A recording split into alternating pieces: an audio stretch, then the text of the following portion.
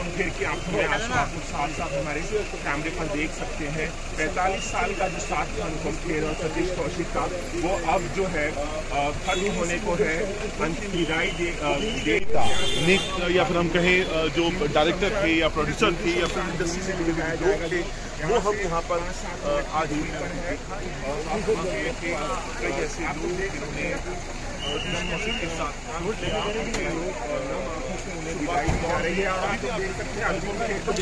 हैं, एंबुलेंस के अंदर वो उन्हें उनको साथ अंतिम सफ़र में उनके साथ अनुपम रोते हुए हैं बेहद गमगीन मौका है ये बेहद बेहद गमगीन कर देने वाला ये मंजर है अनुपम खेर की आँखों में आँसू आप लोग साथ साथ हमारे कैमरे पर देख सकते हैं 45 साल का जो साथ था अनुपम खेर और सतीश कौशिक का वो अब जो है खत्म होने को है अंतिम विदाई दे, दे रहे हैं अनुपम खेर अनुपम खेर सुबह से ही अनुपम खेर सुबह से ही इमारत में तमाम तैयारियों तैयारियों की देख रेख कर रहे थे। तमाम तैयारियों की देख रेख कर रहे थे और अब उसी एंबुलेंस में सवार हो गए हैं वो बार बार सतीश कौशिक के चेहरे को देख रहे हैं और उनकी आँखों में हैं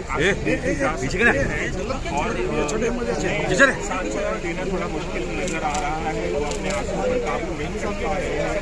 उनके आँसू जो है लगातार बढ़ते जा रहे हैं और उनकी साफ़ तौर पर देखा जा सकता है कि अपने दोस्त को इस तरह से एक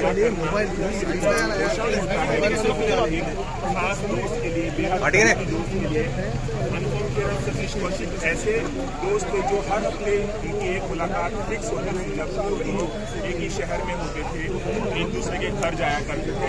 आप लोग लोगों को रोते हुए देख सकते हैं अंतिम दर्शन की प्रक्रिया जो है अब भी जारी है। एंबुलेंस में सवार हो चुका है। एंबुलेंस में सवार कर दिया गया है। पार्थिव शरीर को और फिर भी आप लोग देख सकते हैं इस तरफ़ अशोक पंडित की फ़िल्म पर अशोक पंडित भी बैठे हुए हैं। कुछ उनके जो रिश्तेदार हैं, वो भी अंदर बैठे हुए हैं और वो भी जार जार आँसू बहाने बहा रहे हैं इस वक्त। तो ये बहुत ही भावुक कर देना, भावुक कर देने वाला पल है, जज्बाती कर देने वाला पल है। तो आप लोग देख सकते हैं आप लोग करीब से दिखाना चाहूँगा, करीब से दिखाना चाहूँगा।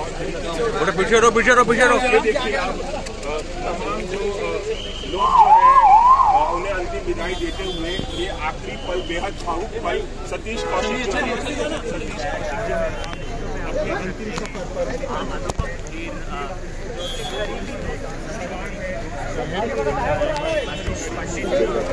कोई भी लोग नहीं समझ पा रहा है।